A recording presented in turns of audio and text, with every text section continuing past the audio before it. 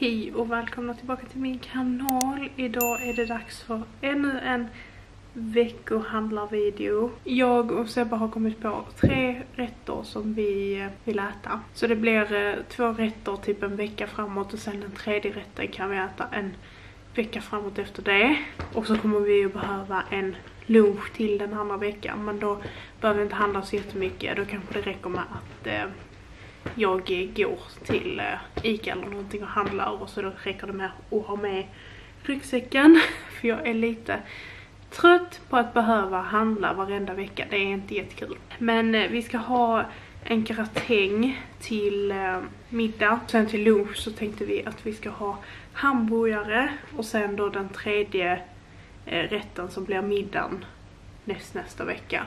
Det blir fish and chips och sen så har vi lite så här små grejer som vi behöver fylla på, typ grönsaksbuljong, lite krydda som tagit slut och sånt här. Så vi ska åka och handla nu. Är du dum i huvudet? Alltså, jävla gubbjävel. Du blinkar ju inte ens!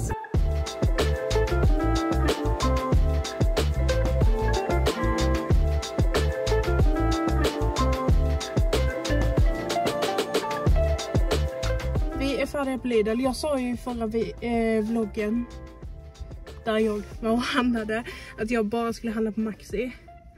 Eh, men eh, vi tog Lidl ändå. Och idag så kunde vi handla typ nästan allting som vi skulle ha på Lidl så det är bara några små saker.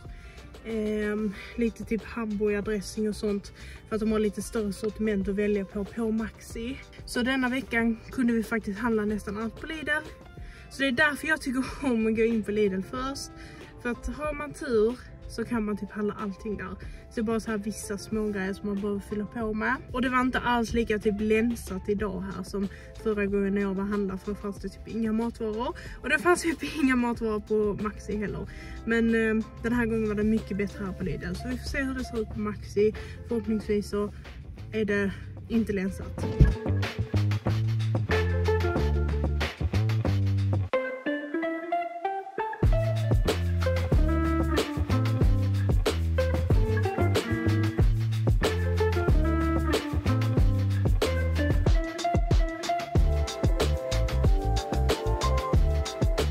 Alltså, mitt hår ser så äckligt ut. Uh. Men nu är det dags för mathållen. Nu ska ni få se allting vi köpte. Så det är lite blandat från eh, Maxi och eh, Lidl. Vi ska ha fish and chips. Så vi köpte såna här till Sebbe. Jag tänkte först att vi skulle köpa så här fisk och jag skulle panera själv och bla bla bla. Men alltså det är mycket billigare att bara köpa det så här så plus spara tid. Jag eh, ska ju inte ha fisken så att jag köpte tofu som jag ska panera och ha istället eh, när vi äter fish and chipsen. Hamburgerbröd. Jag tänker att jag lägger den ena i frysen så håller de lite längre. Rostbröd. Denna ska också lägga i frysen. Vi försöker alltid ha en sån här i frysen för Alltså det är bra att ha om man så här skulle bli hungrig någon gång och man vill ta macka så har man. Så det är bara till att slänga i, i eh, brödrosten. Bananer, aioli, ketchup, potatis, jasminris. Vi köpte två tomater till eh, hamburgarna. Och så köpte vi även en gurka och vi köpte sån här eh, bladsallad. Och eh, jag tog en sån här i eh, jord för att då kan man bara plantera om denna så fortsätter det att komma sallad. Så förhoppningsvis så eh, ehm, jag vet inte om jag ska plantera det i en större kruka och sätta här i fönstret i köket. Eller om jag kanske ska plantera den där ute fast det kanske är lite tidigt. Men det fortsätter ju komma så då behöver inte vi köpa mer eh, bladsallad. Lite grönsaksbuljong, ströbröd. Jag eh, ska göra en gratäng och i det så ska vi ha eh, mögelost och eh, sen på toppen lite gratängost. Vi köpte lite snacks på Maxi och de hade faktiskt 3 för 36 eller 3 för 35, jag minns inte riktigt. Så vi köpte crunch, sour cream, hot sweet chili och eh, barbecue. Vi brukar ju alltid på lördagarna nu har vi ju sett på Mello för att det har varit Melodifestivalen men typ se film och eh, äta lite snacks som nu har vi till flera helger. Vi köpte även lite choklad som vi inte har testat innan. Så här Marabou med tuck och sen så en liten liten påse med godis. Såna här kornfiléer ska ha till gratängen. Burgare till mig. Lite ärtor som jag tänkte att vi ska ha till eh, fish and chipsen. Jag tycker det är gott att ha eh, ärtor till så här fiskrätter. Vi köpte remouladsås och eh, hamburgardressing. Sen de sista två grejerna som vi köpte. Salladskrydda för den är nästan slut. Den här är från Ica, stora sån här lilla blandning av olika grejer. Jag vet inte riktigt vad det är i. Det är salt, lök, socker, vitpeppar, svartpeppar, krydda, oregano, koriander, paprika, timjan, dragon, lipsticka, persilja, tomat, citron, juicepulver. Men den är i alla fall skitgod. Jag har alltid den på sallad när jag gör sallad. Vår är nästan slut. Sen så köpte vi eh, popcorn. Innan har jag alltid så här pop, alltså gjort mikropopcorn. Men eh, alltså jag tycker det blir så gott när man gör det. Bara i med lite mjölkfritt smör, i en kastrull. På med lite popcorn och så poppa och sen så Alltså typ om jag vill äta popcorn själv, jag blir sugen på popcorn en kväll. Så en hel popcornspåse är liksom, det är ändå ganska mycket. Jag kanske inte vill ha så mycket. Då är det lite lättare att kunna portionera upp själv hur mycket popcorn man vill ha. Plus att det är jättemycket billigare. Och det var faktiskt eh, allt för eh, den här veckohandlingen. Även i den här videon så kommer jag dela med mig av ett recept. Och det här är någonting som eh, vi åt när jag var liten. Men jag har gjort om det lite för att egentligen ska det vara kyckling, jag äter inte kyckling. Och sen så vet jag att när min mamma gjorde den här maten så typ skar hon upp kycklingen och la in eh, mögelosten i den och typ hade tandpetare och sånt här. Det gör inte jag. Utan jag lägger bara ner mögelosten i hela gratängen och blandar runt. Men det här är superenkelt att göra, det här är jättegott och det här är en sån maträtt som liksom passar skitbra till att göra till matlådor. Det, det håller sig bra, det smakar gott att värma upp. Och det är väldigt lätt att göra stora mängder av det. Så att man har. Så det första vi ska göra är att eh, koka riset. Jag ska göra ganska mycket ris. Så jag gör här i riskokaren. Men sen så har jag även ris här i. I denna. För att jag ska ändå typ fylla upp hela denna så det behövdes ganska mycket ris. Då var det jag som tappade min mobil ner i ett stekjärn. Jag stod här och höll på med disken och så hade jag satt min mobil här för att jag kollade på en Youtube-video.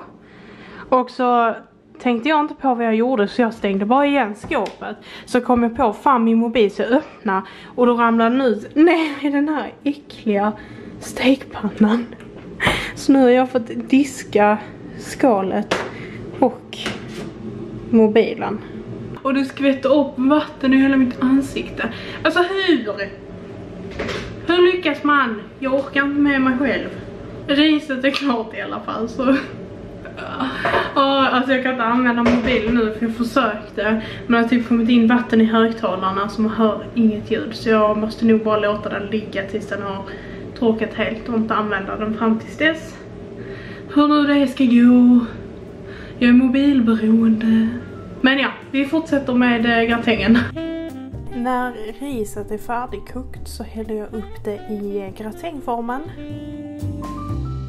Här häller jag på Oatleys i mat.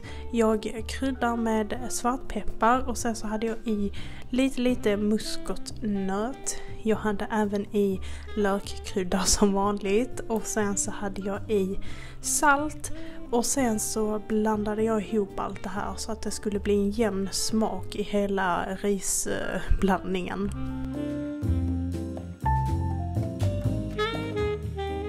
Jag plattade till riset och sen så började jag lägga ut alla de här eh, kornfiléerna. Ovanpå filéerna så placerade jag mögelosten som jag hade skurit upp i mindre bitar. Resten av riset som är kvar, kom ihåg att spara lite ris, det lägger jag eh, ovanpå och sen eh, på detta häller jag på lite mer i mat för att det inte ska bli eh, lika torrt. Jag toppar riset med lite gratängost och sen så ska den här in i ugnen på 175 grader. Alltså jag skulle säga att ha den inne i ugnen i ungefär 30 minuter. Om jag hade lagat den här med kyckling, jag har gjort det innan vi bjöd på det någon gång när vi hade fest um, men då hade jag eh, nog kanske haft det inne den i 40 minuter. Bara så att man är säker på att kyckling blir tillagat. Alltså jag är livrädd för kyckling. livrädd för att tillaga kycklingrätter. Men eftersom det här är vego så är det ju liksom inte direkt någonting som ska bli tillagat. Det ska mer liksom, ja men få ta smak och osten ska smälta och sånt här. Så ja, runt 30 minuter tror jag nog är bra. Och om det skulle bli så att det blir för bränt på ytan så typ lägg aluminiumfolie över eller något sånt här så att osten inte blir bränd.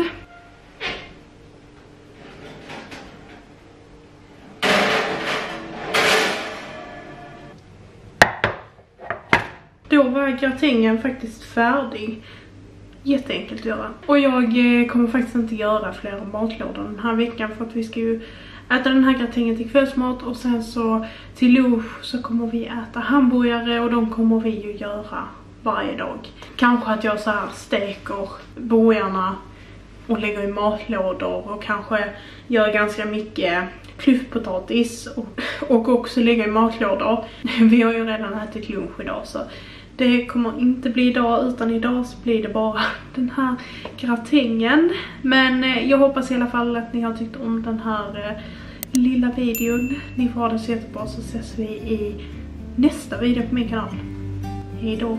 About to leave Already packing Come with me I'm not really asking